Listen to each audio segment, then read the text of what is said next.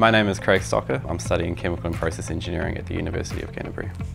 My name is Olivia Duplan and I'm currently in my final year of Chemical and Process Engineering. My name is Lisa Mace. I work at Beca and I'm a Chemical and Process Engineer. Beca is one of Asia Pacific's largest design engineering advisory consultancies.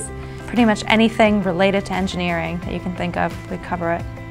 Felemea Village is a small village on the island of Uiha in Tonga. Due to climate change, seawater rises causing their groundwater supply to be contaminated with salt water. The drinking water that the people on the island currently use is their rainwater supply, but with long periods of no rain, that's very limited and they need a way of purifying their groundwater source. Within the village at the moment they have a groundwater bore. This bore that they have is what they use for cleaning, showering, things like that, not for drinking water. We're getting a pump system that's in the bore to pump up the salty water into our process. It goes through a tank and it's separated out into two different outlets. One of them's going to be untreated water that they can still use for cleaning and then another that's going to go through the process to produce clean drinking water.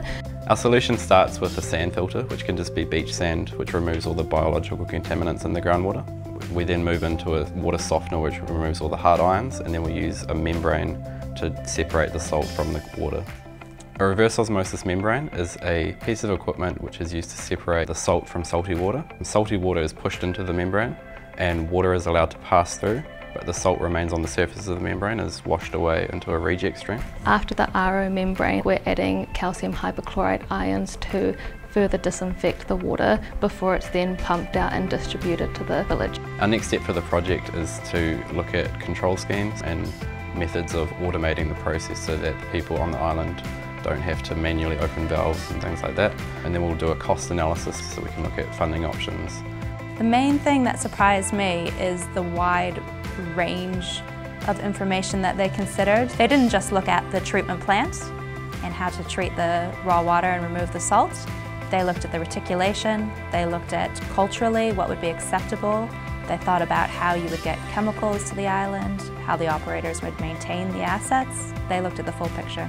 Initially, this was just a theoretical problem. We didn't think that it was going to be implemented, but as we've gone along, we've actually been in contact with the government of Tonga and also talking to the people in the village, so there is possibilities, and we are trying to get our design put in place on the island. I think the real world aspect has just made it so much more meaningful, being able to see how our engineering skills that we learn in our degree at UC can actually be applied. It has the potential to change people's lives and that's a really rewarding thing. I think for us it's a great reminder of what students are capable of and what they're passionate about and it's also important for us to work with the university so we're on top of the research they're doing, uh, just maintaining that connection. We see a lot of value in that.